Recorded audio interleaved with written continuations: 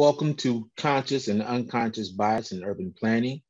Now we have a word from our sponsor, Mr. Dwight Williams with Gallagher Insurance. Good afternoon and welcome. My name is Dwight Williams, Vice President and Regional Co-Lead for the Inclusion and Diversity Committee at Gallagher. For those of you who don't know, Gallagher is a global leader in insurance, risk management, and consulting services.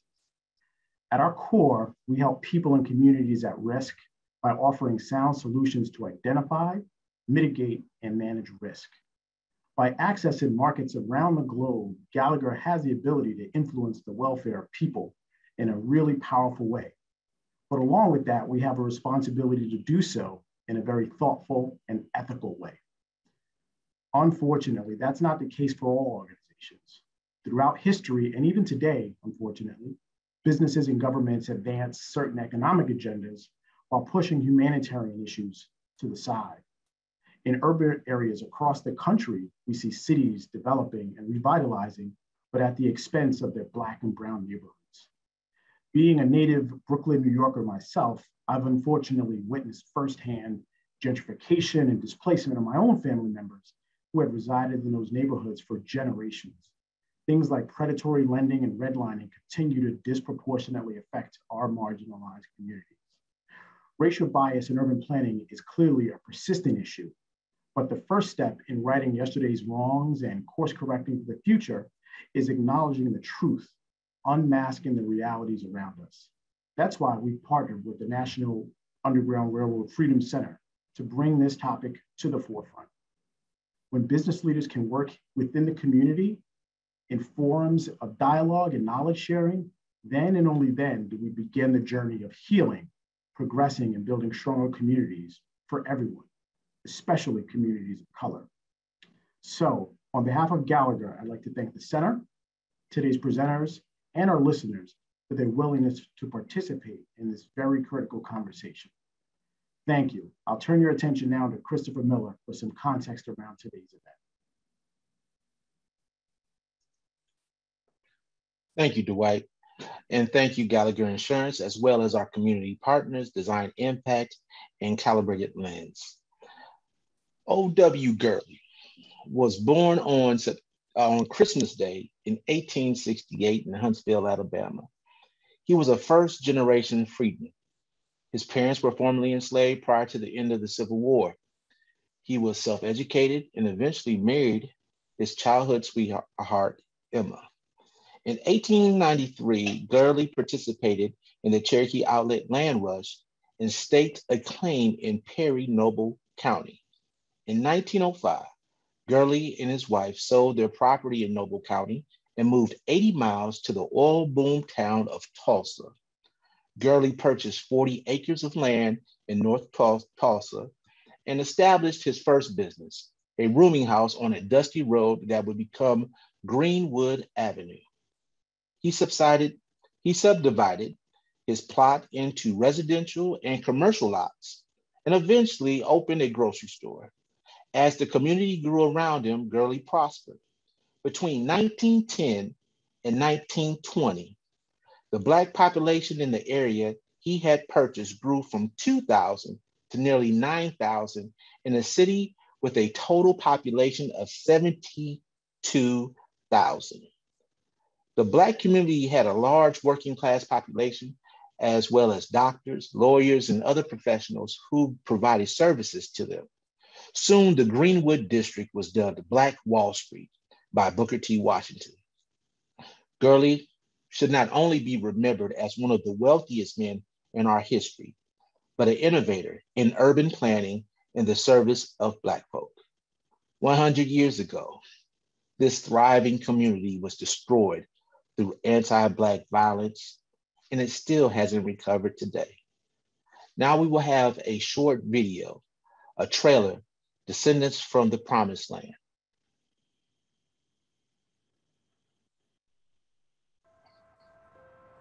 There's this quote by John Hope Franklin. There are two ways which whites destroy a black community. One is by building a freeway through it. The other is by changing its zoning laws. The cutting off of the legacy, the cutting off of intergenerational wealth. That is what the 1921 massacre did to the Black community. And still, some people were resilient enough after that to rebuild. And that was destroyed by redistricting, rezoning, eminent domain, taking property from businesses. I mean, that's what happened to my great grandmother's building. The city bought it because everything around it was being gentrified. Kind of the common theme, unfortunately, that's happened in a lot of the Black communities across the United States.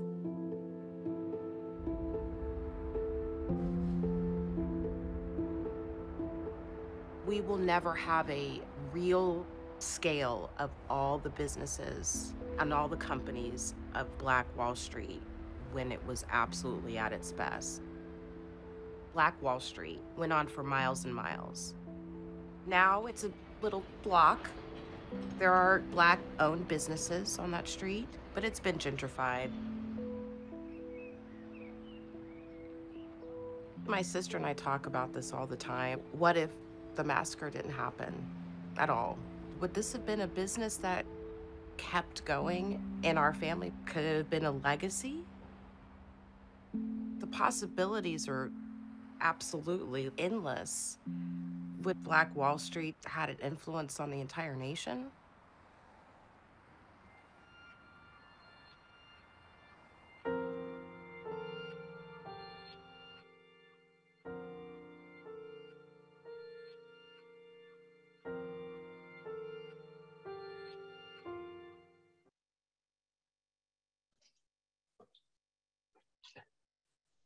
So it's critical 100 years later that we not forget about Black Wall Street and the families and the impact that the devastation of the massacre that took place.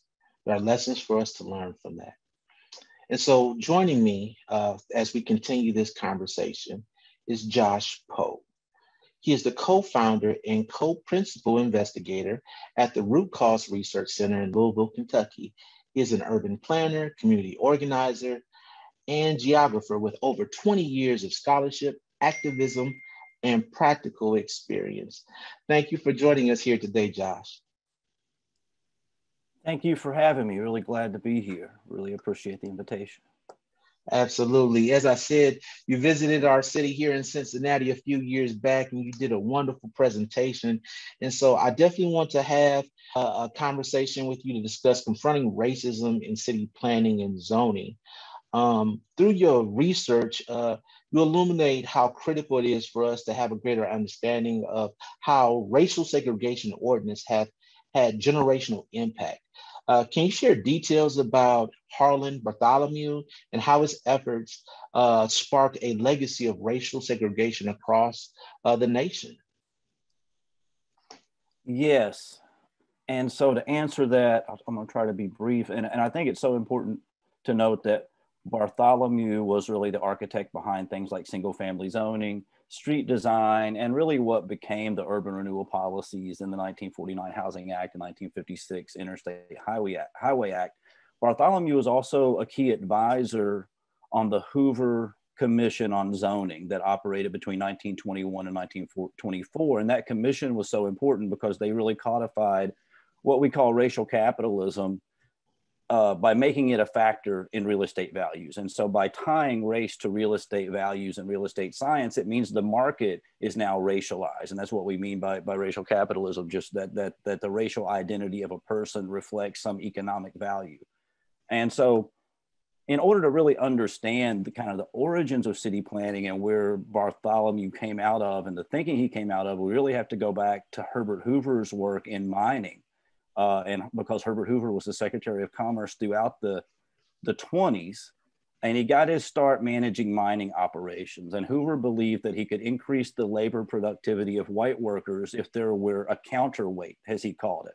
And that counterweight weight was racialized. And this is where the idea of holding one group of people who are worse off as potential labor replacement came from. And so in the mid 1890s, Hoover goes to Australia to manage a gold mine there and there's a strike. And Hoover writes back to his superiors about how he's going to handle a strike. And he said that mixed labor is advantageous in a mine. He said, I have a bunch of Italians coming into work and I will secure them, hold the property in case of a general strike, and I will reduce wages. So that worked. And so the, the industrial capitalists and industrial leaders of that time uh, really took a liking to this because not only did he break a strike, he reduced wages.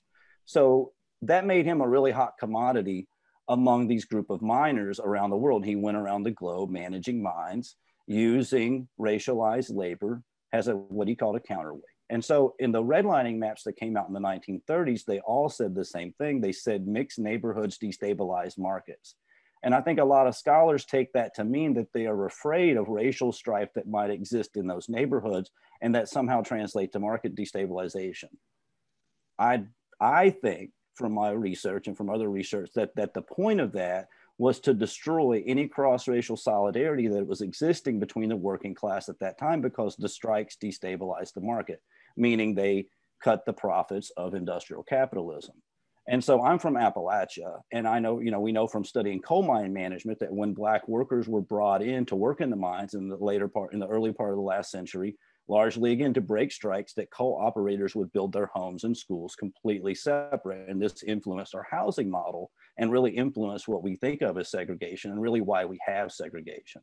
And so labor policy really created housing policy. Labor needed new ways to manage workers in the early part of the last century and the ruling class what they call, applied what they called scientific management techniques to labor management housing and communities and this came to be known as urban planning that's really where urban planning came from and so new management systems were needed as we shifted from as we shifted to an from an economy based on slave labor to a, an, an industrial economy under liberal capitalism we needed a new way to control our workers and we needed a new housing system design and so Hoover took over real estate, immigration, labor, zoning, and housing policy during this time. In 1917, uh, over 5 million workers went on strike. Uh, and uh, Own Your Own Home campaign was launched by the National Association of Real Estate Boards that Trump that really championed homeownership. And one of the reasons they championed homeownership is because they said homeowners don't go on strike. If you can lock someone into a 30-year mortgage, much less likely to go on strike. So, and this campaign was later taken over by the by Hoover and the Department of Labor, and they really pushed homeownership and the idea that the American dream was deeply linked in government policies that favored mortgages over rent payments. And and Hoover promoted homeownership and segregation, believing that if we had uh, uh, uh, if, if someone had an equity stake in this country, they would be much less likely to fall under the spell of communism and labor unions. Now, this is during the Red Scare. And so Hoover worked closely with the National Association of Real Estate Boards to establish the Division of Housing in 1921 and went on to establish and support the Better Homes in America campaign. And so by 1930, this is really where we get redlining policies and what that came out of. And so I think it's so important when we think about zoning we think about racial covenants, we think about interstate highways, they were all designed within this industrial setting uh, to keep Black people in very low wage positions. And those low wages for Black people translated to very high profits for the industrial powers at that time. And it was also very effective in keeping Black people out of labor unions.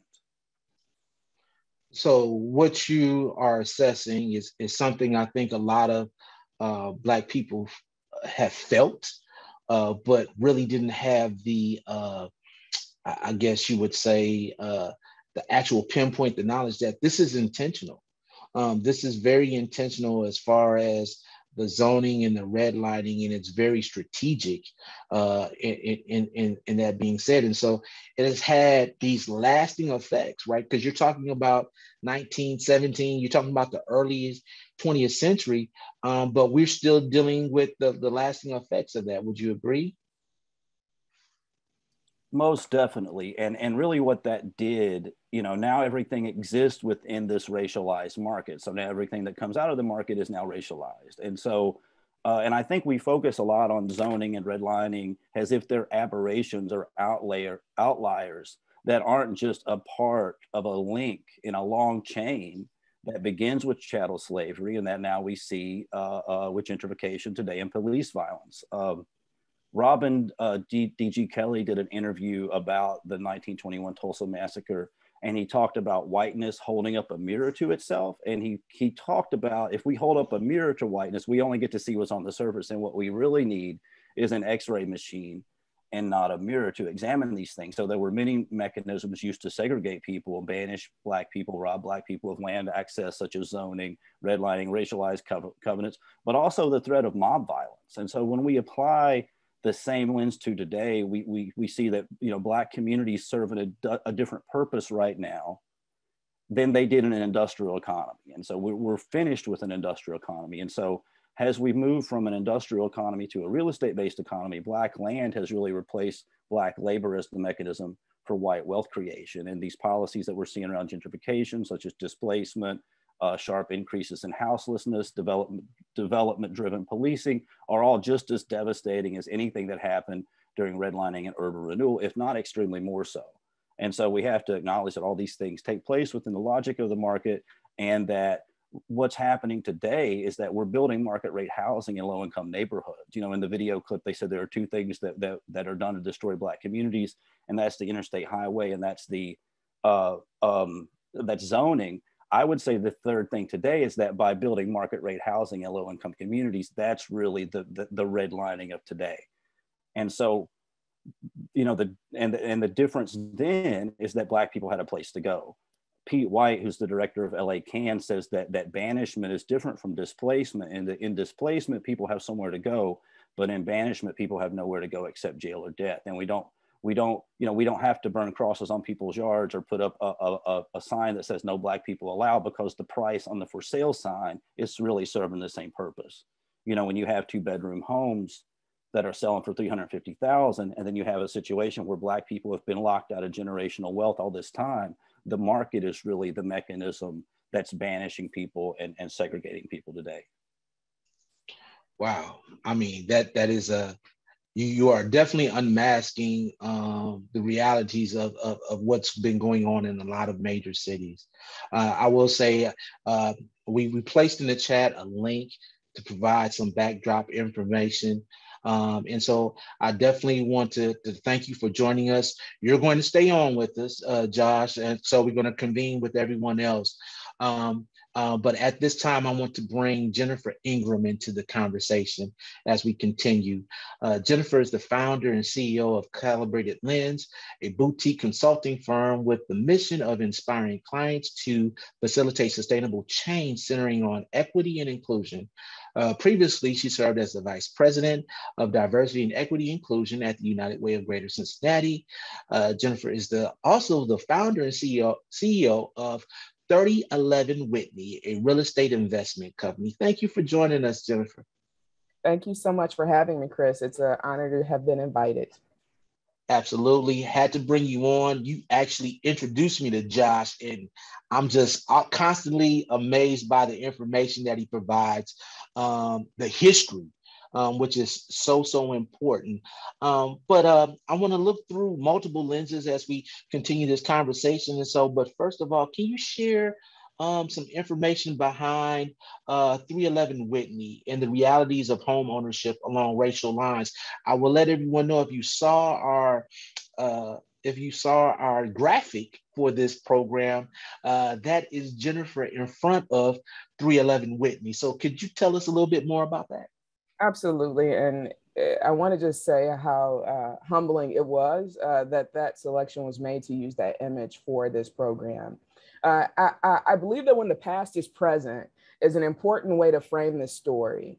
Uh, I sit here in 2021, uh, owner, founder, and CEO of, of 3011 Whitney. But before uh, there was a real estate investment company, there was a, a young couple in Hattiesburg, Mississippi, and those were my great grandparents uh, after witnessing their neighbor uh, uh, be nearly murdered uh, for starting a business hauling items uh, in the community for other Black folks. White folks came to his home and again nearly killed this man.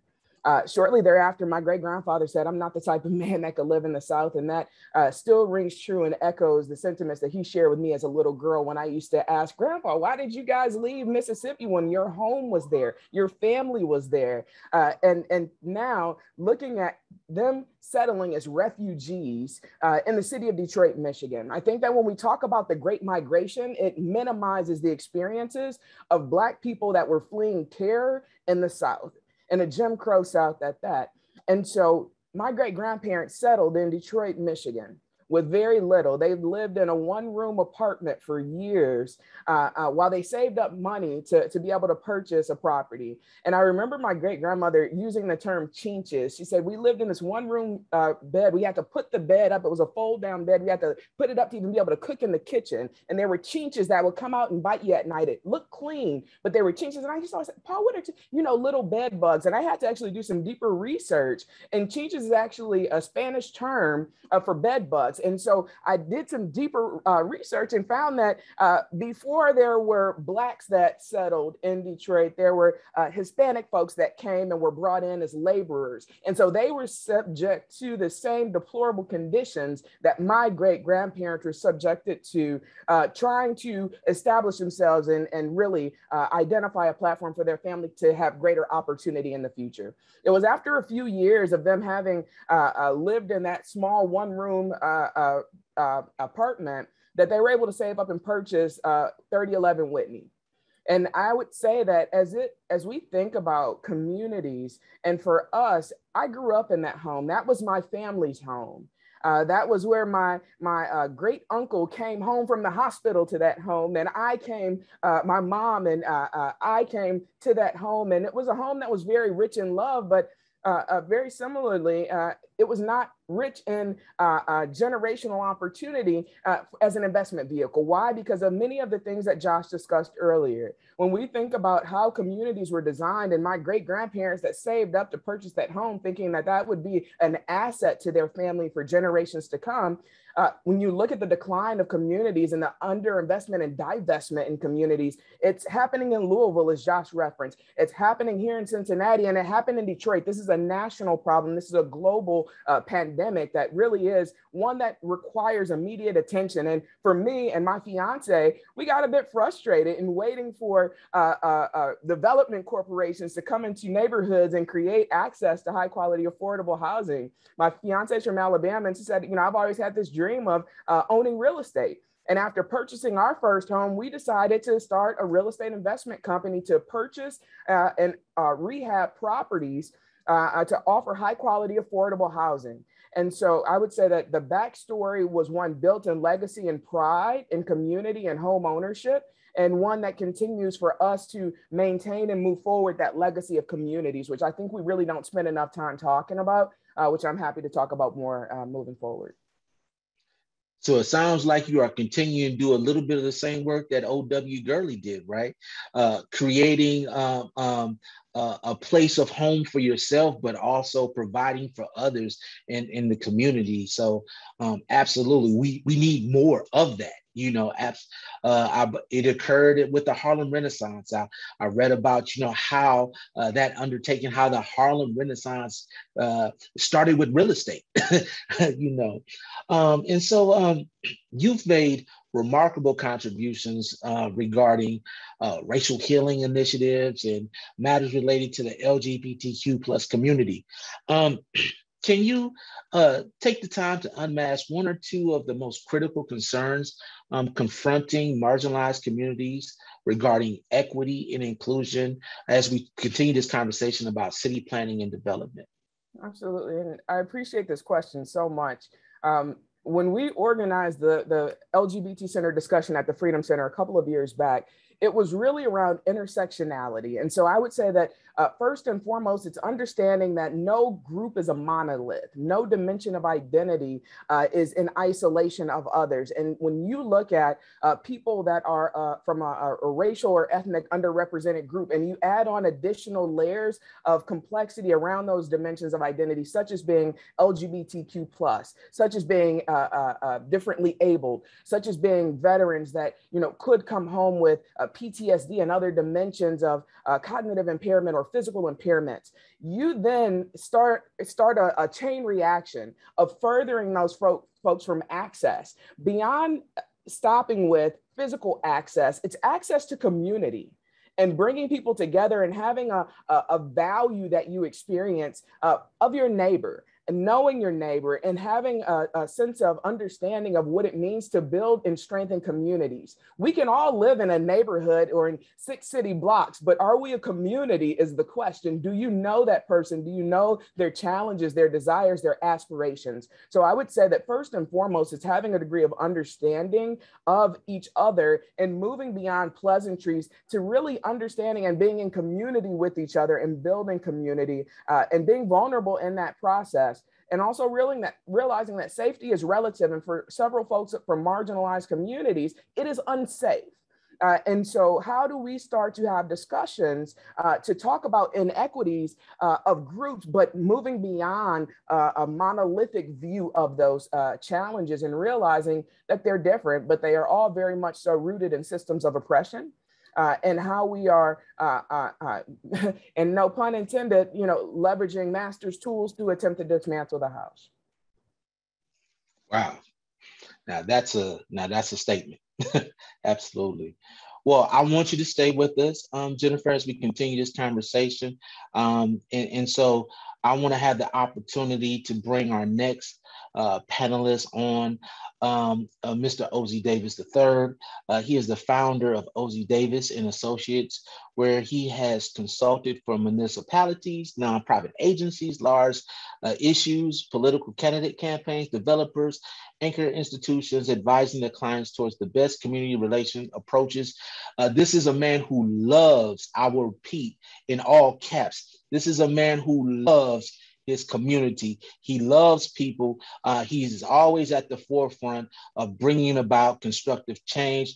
Thank you for joining us here today, uh, Mr. Ozzie Davis III. Thank you.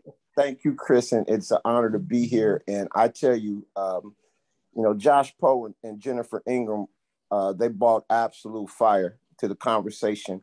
And I, I appreciate, you know, the Freedom Center and Gallagher for uh, hosting us in this significant conversation. And I hope we continue to drive home the importance of us being intentional and unmasking these uh, uh, these vicious realities.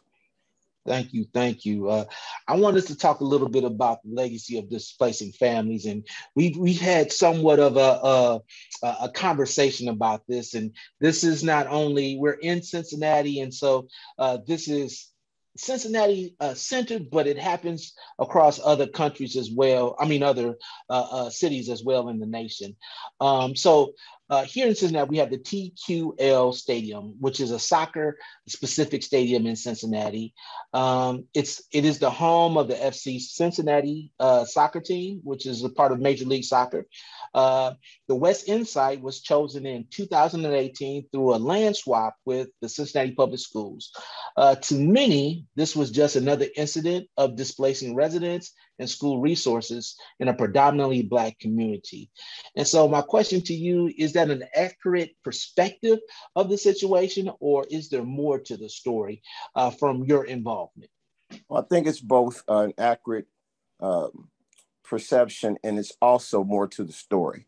So, when we think about and I, I wasn't quite yet on the school board. I actually was appointed to the school board right after the stadium decision was made. As a matter of fact, one of the reasons that uh, board member Lannis Timmons, uh, who I replaced on the school board, resigned was because of just how difficult a decision it was for the school board uh, to swap land with FC. Now, the school didn't actually lose any resources. As a matter of fact, the school board made a good deal. They got a new stadium across the street and they got $10 million uh, to benefit the school district. The Stadium, if nothing more, is a gross imposition on top of the neighborhood. I'm at Taft every day. And when you drive up and this monstrosity is like right next to you, it's uh, it's definitely a, a daily imposition. Now, I think Josh's point in regards to uh, Black land being the new black labor uh, is, is such a, a very significant point because that's what we're seeing here in Cincinnati and across the country, where Black land is now more valuable.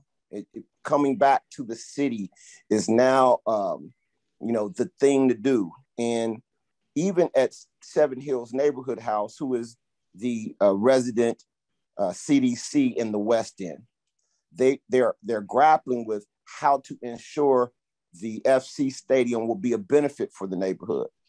So in the West End, about uh, 80% of uh, residents are renters. And when you have a large amount of renters, displacement is a for surety. it's coming. Uh, houses, housing prices went up uh, $100,000 in two years in the West End. And there, there are uh, West End properties on the SLS at $700,000. So you you know that displacement is coming and it's uh it, it's uh, it's it's sad to see but let me say this uh, on the positive side of what fc has tried to do and i've met with fc i'm very familiar with uh, you know mark mallory and kate and jeff and their team there and the uh, community council and fc uh, in their negotiations for the benefits agreement. There's a community benefits agreement. They've done a as, as best a job as they could at trying to address some of the residents' concerns. That um, that came from mass protest. It should have it should have came in the beginning. It shouldn't have had to take protest. And I think a lot of times when we see developments like this, if we would be more uh, communicative and uh, you know more planned, intentional, to address concerns prior to them happening, we wouldn't feel as bad. But that wouldn't that wouldn't change the fact that this is a major project that's going to cause major displacement in the West End. Thank you, thank you for that. Um, it, it's definitely has been a hot topic um, in, in our city. I've seen the stadium. The stadium, I will say, is beautiful. I mean, it's but as you said, it is large. And I don't know if you can imagine having home or living next to a, a stadium. It, it, it is, it, I can see it being very imposing uh, and intimidating. Um, and I've driven past it and, I'm, and it commands your attention every time you drive past it. Um, beautiful, uh, but yes, I can understand how the challenge uh, with that. I want us to make sure that we have the same uh, playing field because we've mentioned gentrification, and sometimes I think people um, may may use it incorrectly. So I want to make sure I wanted to do, do my due diligence to, to kind of un, unmask that a little bit so that understand gentrification is defined as a housing, economic, and health issue that affects a community's history and culture and reduces social capital. It often shifts a neighborhood's characteristics, racial ethnic composition, and household income by adding new stores and resources in previously depleted neighborhoods. And so, with that understanding, can you share with us uh, your perception of how this continues to impact our community? Well, you know, if we start with what's happening in the West End, um, you could you can imagine that gentrification it's on its way. It starts with displacement and then replacement, and what's being replaced is not what was there. You know, the West End is a prime example of a community, a Black community that has been torn to pieces time and time again. The Highway, Hope Six, uh, uh, the, the, Choice Neighborhoods Grant. Here, time and time again, uh, the West End is being targeted um, for for takeover. Now, this particular opportunity for um, developers is a spillover from Over the Rhine. Now, Over the Rhine is championed as one of the greatest uh, development projects in the country. Um, and there's minimal, minimal talk about how gentrifying the great development project in Over the Rhine has been. Um, if you go, if you look at Walnut Hills, in Walnut Hills, the same type of gentrification is occurring. Uh, if you were to Madisonville, you, you would not uh, recognize Madisonville today um, compared to Madisonville uh, 10 years ago. Now, some of these things are okay, but there's not an intentionality behind uh, ensuring um, a class mix. There's not an intentionality around ensuring a racial mix here in our neighborhood, uh, where you know over a hundred, uh, uh, over ten billion dollars of investment is going on right now. The question about gentrification is a daily one, but we, what we've tried to do is be intentional about keeping a black neighborhood a black neighborhood. So in Avondale, there are about 10,000 uh, folk and 90% of them are African American. The neighborhood geography is big enough for say 20,000. So the question is, as you grow the neighborhood, how do you, uh, without being constitutionally, uh, in, you know, um, flawed, how do you grow the neighborhood and continue to have a black neighborhood. And I think there's a way to do that. So, so you can really say, hey, we want at least 75% of the people in this neighborhood to be black. Then you get into a, you know, a better or more diverse neighborhood, but it's still a black neighborhood. What, what, without having this conversation, then you start to develop white neighborhoods in old black places.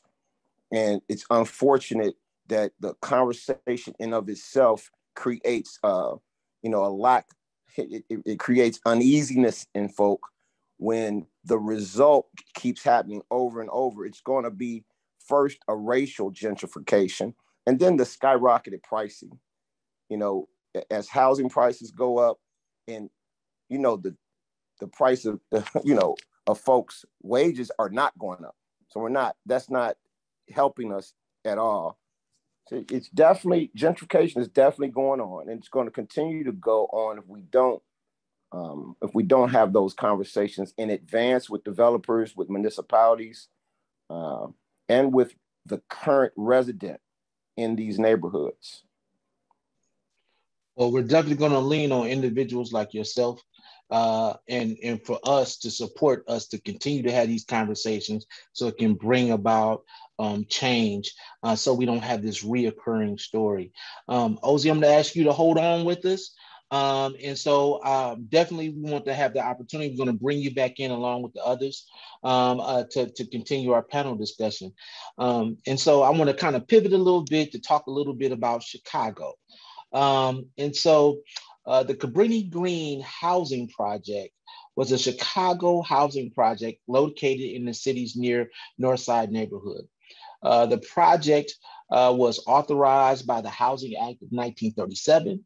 Uh, the Francis Cabrini Homes, completed in 19, 1942, was the first major public housing project in Chicago and the first section of what eventually would be called uh, Cabrini Green Project. Uh, it held 586 units, um, which were initially provided for soldiers temporarily stationed in Chicago during World War II and replacement housing for those who had formerly lived in the neighborhood that was demolished to allow construction for this project. Initially, the Francis Cabrini homes had a quota for African American residents.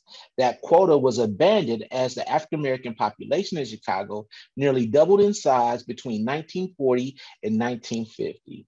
And because white Chicagoans remained opposed to integrated housing in their neighborhoods, as we talked about, as Josh mentioned, uh, the idea that mixed neighborhoods are bad. Uh, and so this is this prevailing theme that we continue to deal with.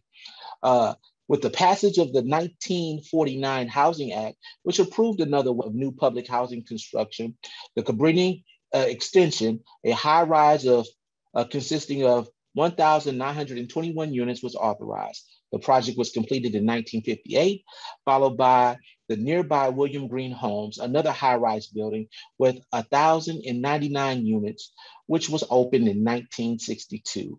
All three projects became known as the Cabrini Green and was the first example of high-rise public housing primarily for the African American community in Chicago. Now we're going to see a short trailer of 70 acres in Chicago, Cabrini Green. This is some valuable, valuable land. And it's been valuable, valuable for a long, long time. And you got folks who, who've had their eyes on this land, who want this land, they're salivating. You know, they're drooling at the lip because they want this land.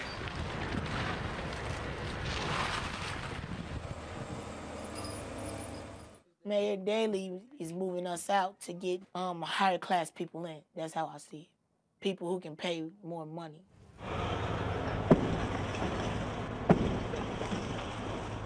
This is the largest transformation of public housing in the world. No one else wanted to tackle this issue because it's very complex and it's very difficult and uh, deals mostly with poverty people. Yeah, but aren't you supposed to be relocated to this area? That's what they tell us. Do I believe them? No. When Cabrini Green residents started coming in, there's a sentiment of we feel like we're being outnumbered. And I don't know if it was more of an outnumbered by black people or if it was more just outnumbered by people who weren't middle class. Some people get it. Some people really understand that, that they have to set an example for people who don't know what it's like to earn a living and to, to be proud of yourself and be proud of what you have. There was this whole belief that if so-called public housing residents, if they move next door to such affluent neighbors, that would make them better people, which was very insulting. I think there's a rage when you when you grow up and you know a community, you see that community get torn down, and then you see new people come in who expect things to change and expect you to change and say there's something wrong with you. Here we go. Step, step, side to side, round and round. Now bring it down, now separate, then bring it up. Can't get enough, can't get enough. Many of us fought against change, and somewhere along the line, we understood that change is inevitable. And so, how do you prepare for change? And that got to be the bigger picture. How do you prepare for change? Then bring left in front. Now you step in. Step, step, side to side, round and round. Now bring it down, now separate, then bring it up. Can't get enough, can't get enough. So at this time, joining us in this conversation is Ronit Bezalel. Uh, she is an accomplished filmmaker who has been creating social issue documentary films for more than two decades. Her, her award-winning film, Voices of Cabrini, Remaking Chicago's Public Housing in 1999 received a John D. and Catherine T. MacArthur Award to uh, catalyze dialogue about the horrible housing issues in Chicago neighborhoods. And she is also the filmmaker of the trailer we just saw, 70 Acres. Thank you for joining us today. Thank you for inviting me. It's such an honor to be here, and, and it's an honor to hear everyone talk, and my work links uh, to what we've all been discussing. So thank you. Absolutely. So I, I, my first question is very simple. What compelled you to get involved with telling this, this story about Cabrini Green um, and how has it been received? Okay, thank you. So this all started in 1994. And at that time, I moved from Montreal, Canada to sh Chicago to attend film school at Columbia College. And the first thing I noticed about Chicago was the racial segregation. And not just the racial segregation, but uh, the people in my circles weren't talking about it. It was just assumed this is the way the city is. I was I took the train every day to school, and uh, from the window I could see Cabrini Green. It was a place that at school we were actually told to avoid, and I wanted to know why was this place being so maligned, so stereotyped in the middle of the city, um, yet we weren't supposed to go there.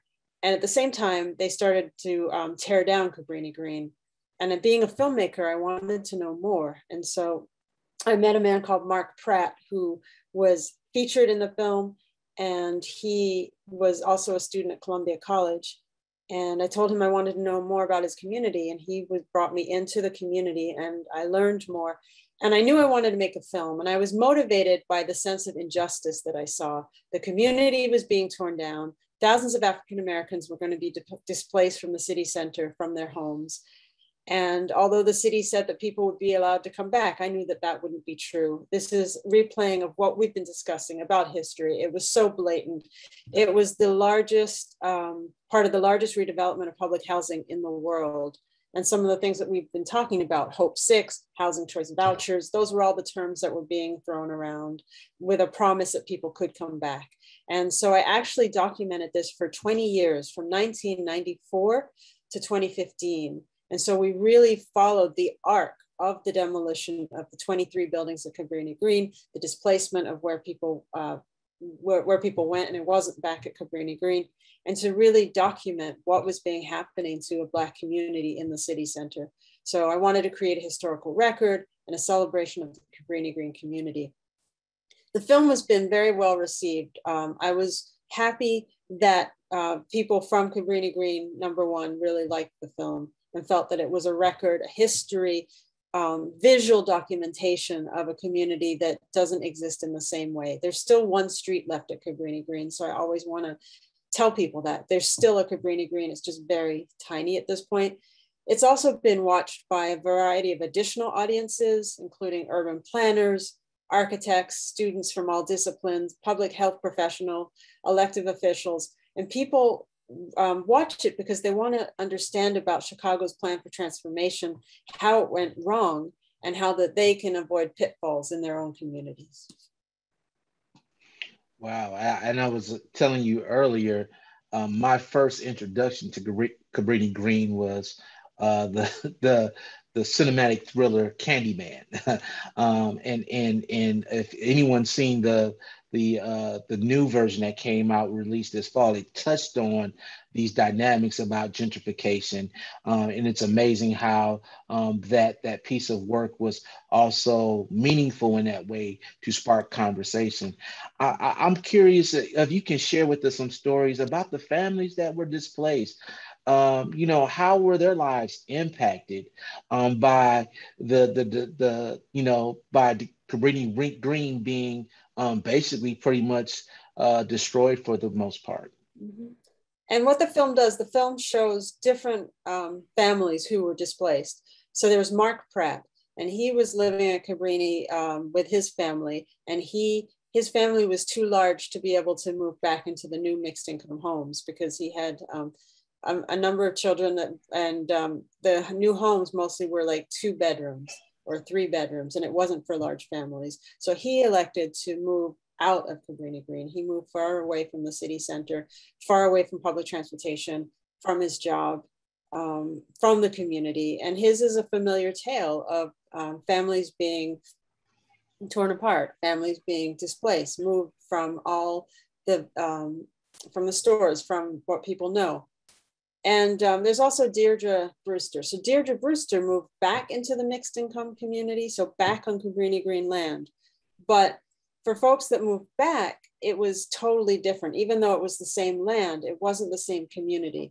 And um, in that case, there were a lot of rules and regulations. Deirdre talked about having to be drug tested first to move in, and then a yearly drug test, which was very, very insulting.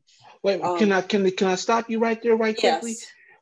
Uh, everybody, everybody, the mixed neighborhood, everybody would have to get drug tested, or specifically individuals. So basically, if you were a renter, so mm-hmm. you could be a renter that used to live at Cabrini Green or theoretically a renter that didn't live from didn't live at Cabrini Green but were now renting. If you owned a home in the mixed income communities, because it was a mixture of rental and home ownership, you did not have to have a drug test. So it created such an inequality. Wow. Yeah. Yeah. Wow. That I'm sorry. I just had to, to clarify yeah. that. Wow. Yeah. And so uh, yes, please proceed. No, no, no, go ahead and and so definitely you talked about how they were impacted. So is the individual is she still living there under those circumstances? Well, Deirdre unfortunately passed away last year. Okay. Um, okay. But she was still living there, and she was very vocal about being um, in on the condo board and being part of the decision making of the community. She was a very strong activist. Um, yeah. Okay. Well, I want to thank you, Rodney, for first of all being part of our conversation and also this film. Um, uh, I, am definitely going to take the time to uh, uh, to see the, the, the film in its entirety um, and and get to know. It's I think we need to make ourselves aware. I know that the uh, the premise for this, we say unconscious and conscious bias, or conscious and unconscious bias, but it seems to be more conscious. It's very intentional. Um, and so at this time, I want to actually bring the rest of our panel back onto to video, if you don't mind, so that we can continue this conversation. I also want to encourage people um, who are joining us, if you have any questions whatsoever, please feel free to put those questions in the chat. Uh, we will also have a survey link uh, that we will want you to fill out at the completion of the program. Your feedback will be greatly, greatly appreciated. Um, but we definitely will continue this conversation. Um, I'm going to try to uh, also be uh, looking at the chat um, at the same time, but I want to, and anyone can chime in with this. Um, we talked about we're raising these issues um, um, I guess my question is, what action can we take uh, to make sure that there are more equitable matters when it comes to urban planning, or is it so rooted um, that the, the defeat is is too great?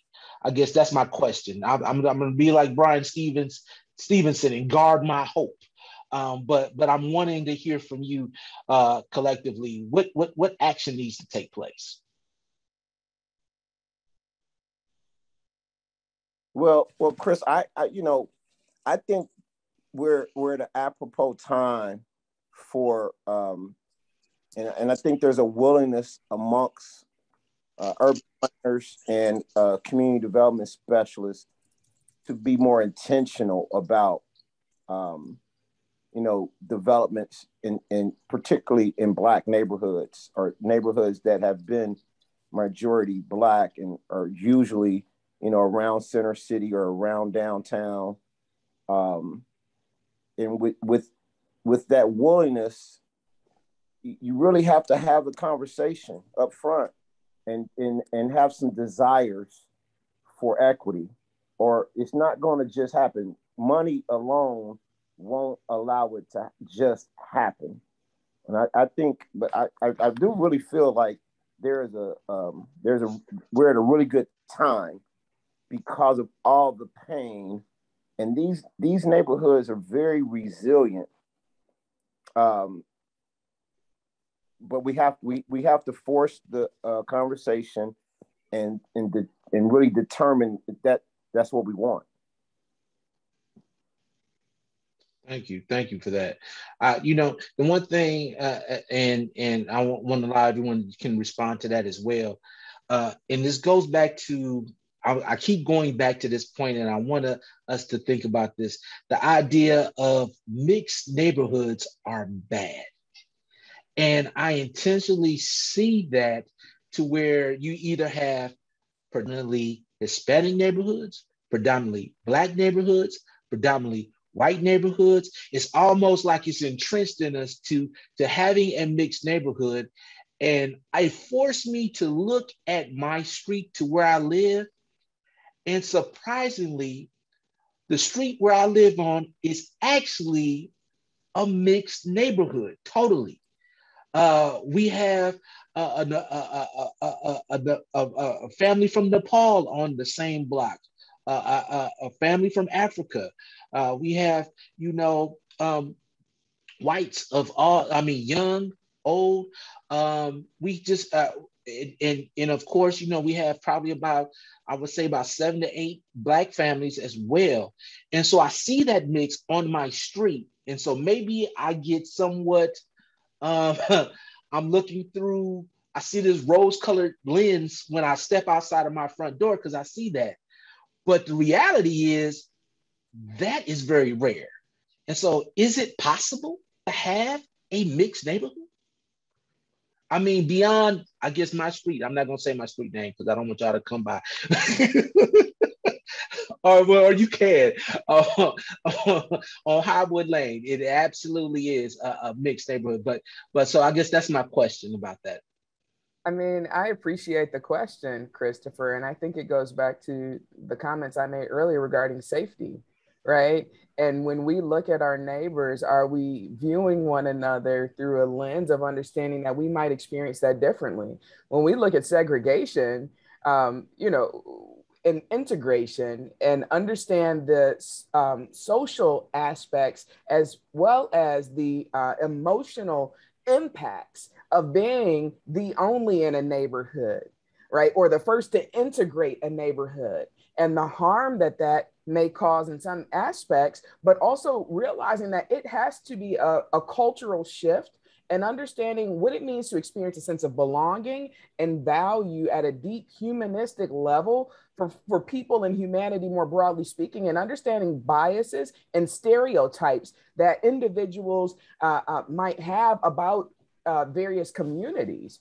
And so i think that it moves beyond just who's living where but it under it uh, no pun intended calibrating our lens to see the ways in which we view people and communities based on stereotypical images and dismantling those things to ensure that we're not perpetuating much of the harm that we've seen time and time again uh, in mixed neighborhoods. A great example of that uh, that I've seen recently is the Colin Kaepernick um, uh, show on Netflix right? And he talks about his experiences there. And so being in a mixed neighborhood is not always a, the healthiest, uh, if not uh, for the individuals that are there, understanding their behaviors and the way that their views could potentially be harmful to others.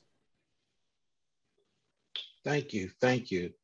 Um, one of the questions I see from the chat um, I want to address um, is talking about um, rejuvenating the uh, housing um, when uh, you have this deteriorating uh, de- deterioration that is taking place. And so, and so you're looking at this depleted neighborhood, and so they're going to revitalize the neighborhood. But then it's being revitalized, but it's also changing the demographic of the neighborhood. And so, and so the question is, how can a neighborhood be salvaged without that taking place? Um, I, I think there has to be a commitment that whoever is displaced can come back in. And it's acknowledged that with Chicago's plan for transformation, they did it too quickly. They tore down all the all the buildings and didn't. Um, what they should have done is torn down a building and then had people come back in instead of just tearing down everything. It was too quick on scope. And so I think it's about the pace that you do it and your intentionality that you're going to bring people back. Folks at Cabrini Green said, you know, we don't mind if you're going to, you know, give us a new building or give us a new neighborhood and give us amenities, uh, you know, a library and grocery stores. That's all great. It's just and with the what what was lacking was the intentionality to bring people back so they could actually come back and enjoy all of the new amenities in the neighborhood. Mm. Thank you for that. So, so, so you talked about the process, um, and I think everybody wants to live in, in in the best, you know, living environment as well, regardless of race. And so that's very interesting that the process was just just very was done very quick. Mm-hmm. Chris, you know, when you were when you were um, detailing your street, I had a vision that you were talking about a lot of homeowners. Like I, you I are did, correct. I didn't I didn't sense you were talking about uh, any renters. And well, uh, I take that back. We do have two renters on our block, absolutely. But but predominantly, mostly, yes, homeowners, yes. Yeah, the the the mix that has been uh, most difficult in my experience has been the homeowner renter mix, and um, it's a different it's a different culture between owning and renting. You know, I live across the street for, from where I grew up uh, in a in an apartment.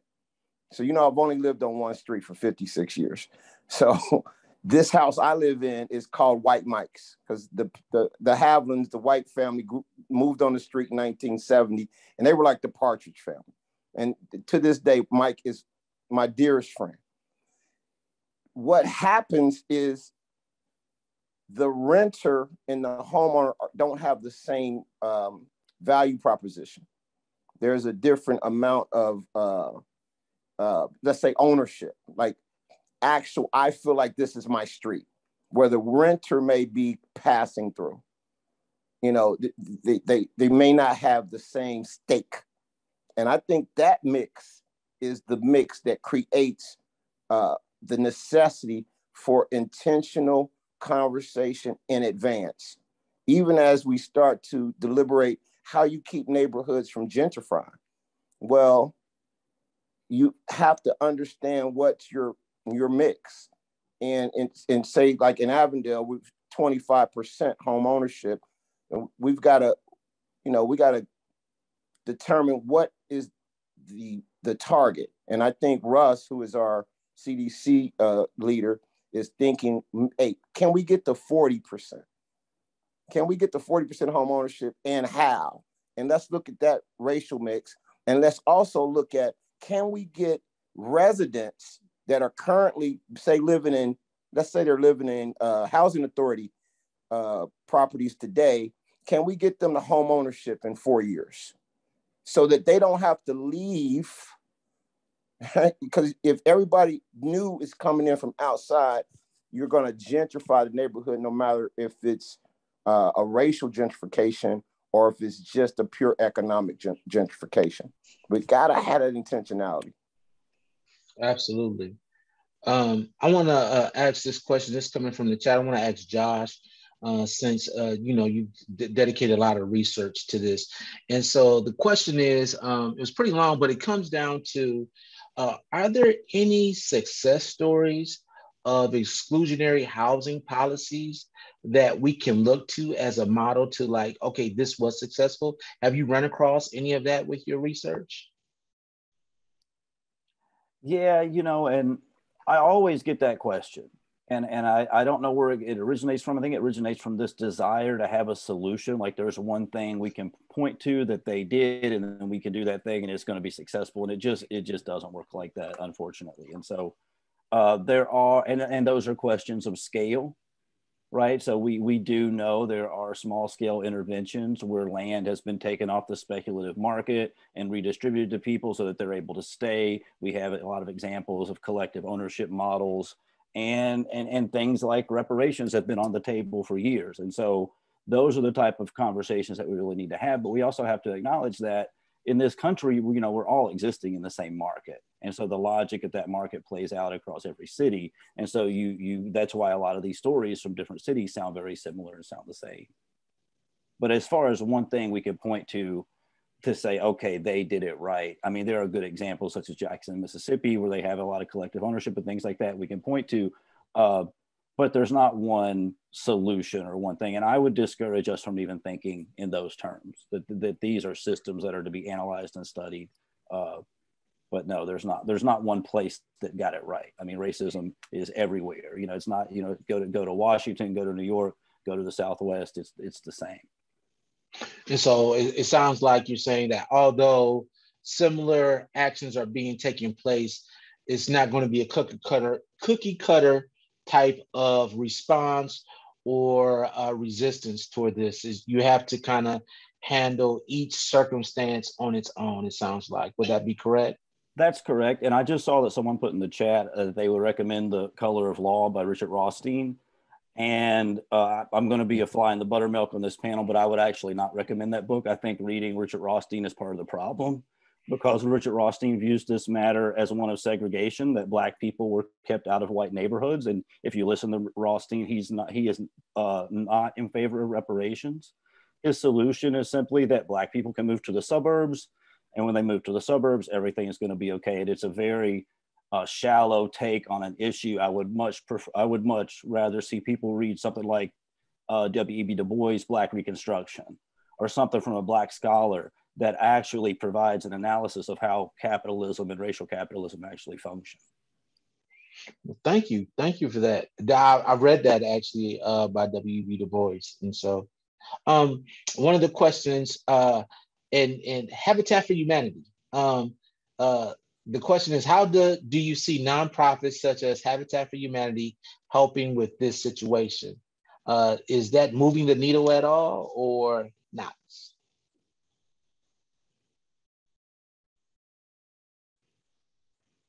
I think you know I think there are different levels of intervention, and so you know the intervention they make is at an individual level, and so we need we need service delivery at an individual level every day. We need policy change uh, but in, but the impact that we can actually make at an individual level comes far short of the impact we need to make. So, you know, black people were not harmed as individuals. They, you know, we, we, black people were harmed collectively, and so our interventions have to be collective. But I want to I want to say a little bit about the profession of urban planning because I think uh, that's you know that's what I can contribute the most. And so when we talk about urban planning, uh, we're talking about two things. We're talking about communities that are living under systemic oppression who are surviving and thriving every day. And I also recognize that as urban planning, very grassroots urban planning that often exists in opposition to the professionalization of urban planning. And so, you know, I live in Louisville right now. Uh, I, we can't talk about any of these issues without putting it in the context of the Breonna Taylor murder and recognizing that that we still don't have justice for Breonna Taylor one and that two Breonna Taylor was murdered due to development driven policing, place based policing or place based investigation, which you also have in Cincinnati, which is a really dangerous, violent uh, uh, uh, way of, of policing, right? You, it's, it's, LA, Stop LAPD Spying calls it speculative policing, where entire communities and groups of people can be criminalized simply for their proximity to an, a, a supposed offender. So it happened in that context.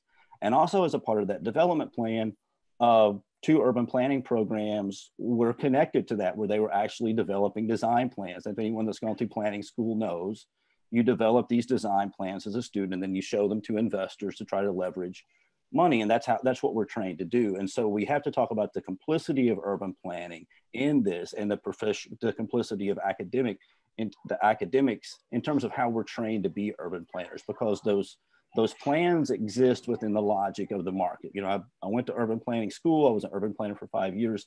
I was trained to be in service to developers. I was not trained to be in service to Black communities. Black communities did not need my expertise because they already hold it. And so that's what the planner's job is to really manage and sort of manufacture consent in the community to get these plans approved. Um, and so there was a recent study that was done uh, by the U of L uh, capstone program where they actually tried to deal with you know racism in urban planning. And they wrote a, they wrote a report about it. And it was interesting because in the report their solution is well we need to hire more black planners.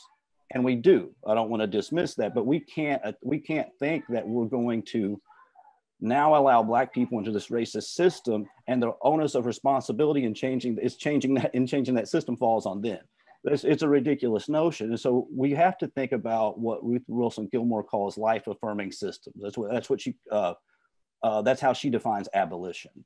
And so we have to think about the, the abolition of these systems like policing, like urban planning that are rooted in settler colonialism, that are rooted in chattel slavery, and transfer over power to communities to make their own decisions. And I think mm-hmm. that's really, you know, we, we have to dissolve that professionalization and and and work through a way to not just hand over material resources redistribute land but also redistribute political control in that process also.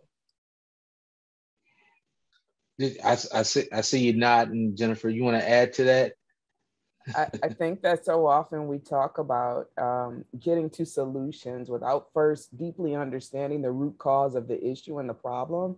And I just appreciate Josh going back. Um, this is true within the workplace. This is true in so many instances where we talk about the need to diversify without first understanding the root cause issues in the culture that oftentimes is toxic and the toxicity that causes harm, and the ways in which we have individuals that could be present without the power. They have inherent power, we all do, but without the political or the social power and capital needed to really influence and bring about the changes that we talk about. So simply diversifying will not solve these issues across any vast degree of the spectrum, right? without first understanding the ways in which we have to look at the root cause issues and get to a space of power and what it means to start to dismantle some of the systems. I heard Angela Davis speak at NKU last year during the pandemic, and she talks extensively about how we can't look to modify these systems. We need to transform these systems if we are to truly see uh, uh, the, the outcomes that we are hoping to see. The systems are doing exactly what they were designed to do, and simply tweaking or modifying them slightly will not transform or produce uh, a more equitable or inclusive future uh, based on how we have historically operated. And so, just to put it a little bit more direct, I think what we're talking about is the system itself, by design, is racist and is uh, unhealthy. So, therefore, it needs to be uprooted. it needs to be replaced with something that's going to be healthy and void of those systemic racist values that it holds. Um, and that takes a great deal of empathy, a great deal of uncomfortable conversations that we know that a lot of people are reluctant to have, especially when you see uh, uh, all these school boards talking about getting rid of see critical race theory that doesn't exist in the school, but just wanted to to kind of want to to avoid having this conversation about race. And I've often said this before: is that um, the reality is that race has has played a significant role in every sector of our society. The moment we can acknowledge that truth and start to deal with it, then we can start going down the road of, of, of changing. But if you have people, you know, uh, that don't recognize that truth, um, it makes it a hard task. Um, I want to take this time. I know that in the chat we are getting close to uh, to to, um, to closing. Um, I know Josh. A few people asked how they can get a hold of you. If you can, if there's like a site that you can put up to where uh, they can get a hold of you, that would be great.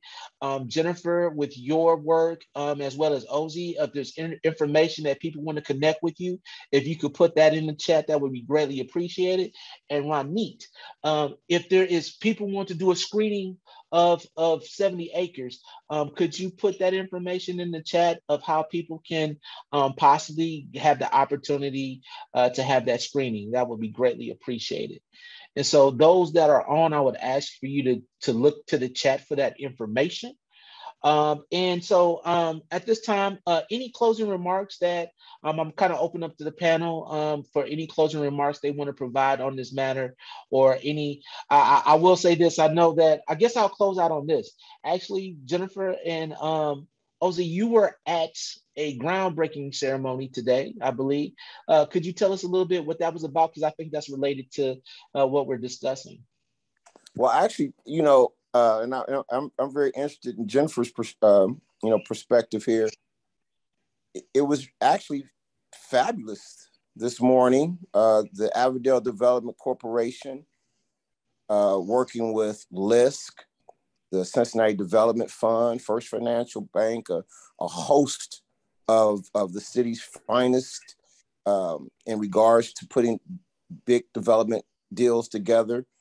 Um, you know, have a woman led, black woman led project, a black woman architect, a young black brother, a first time development company, a black construction company, in a big black neighborhood.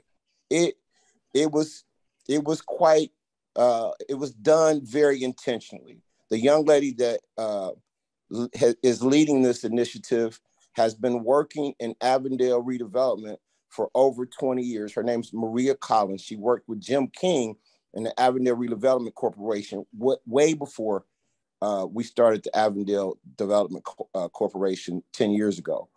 And I think this is the type of intentionality that we're talking about.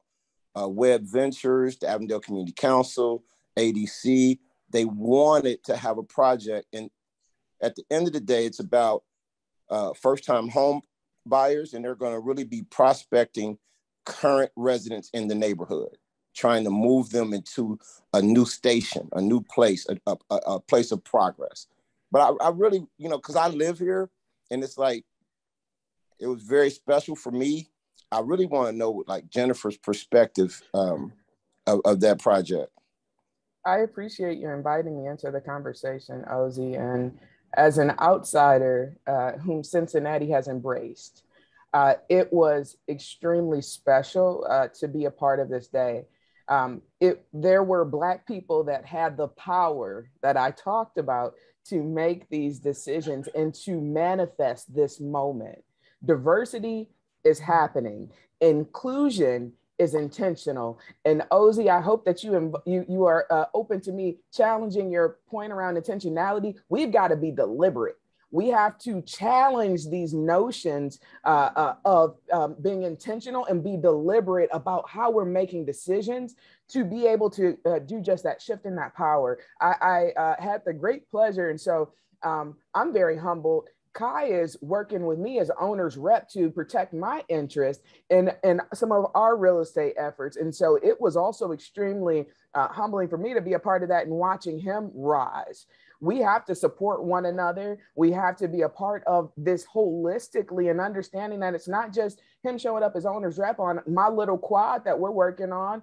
It's me showing up and supporting him in these spaces and us continuing to share with one another. We have Black contractors that we are bringing on to our projects. We know that it doesn't stop with uh, uh, who owns a building or who is managing a process, but when you have Black owners, we are more likely to employ more Black people. and so looking at this holistically and knowing that this is happening in Avondale, uh, for me, Ozzy, you know, it was just so um, uh, uh, rich and uh, it was an honor to be there and to witness it and be a part of um, this process. Well, I just want to take the time to thank all of you, uh, Ronit, uh, Josh, uh, OZ, uh, Jennifer, thank you so much for being a part of this conversation. Um, we do have a survey link um, that was posted. Uh, we will repost that. We ask that you please um, uh, click on the survey link um, and let us know your thoughts about this program. We also want everyone to know that we are of the business of continuing to bring these conversations, um, hopefully when we can in person, um, but also uh, through webinar. Um, and so we want to engage in these critical conversations so that we can better change our communities to build uh, uh, better thinkers and good decision makers uh, because that is needed in order to move our communities forward. Uh, join us on December 7th, where we will have a wonderful conversation reconsidering Angela Davis uh, with four scholars from four different universities. Uh, you can go to freedomcenter.org uh, to get information about that program and more. For those that are not members of the National Underground Railroad Freedom Center, we want to encourage you to be a member of the National Underground Railroad Freedom Center. Your membership helps support us uh, in doing the work of having these conversations and working with great individuals uh, that you've been a part of listening to here today. Thank the, I want to once again thank this wonderful panel. Uh, all of you be safe. Thank all of you for joining us and have a blessed day. Thank you.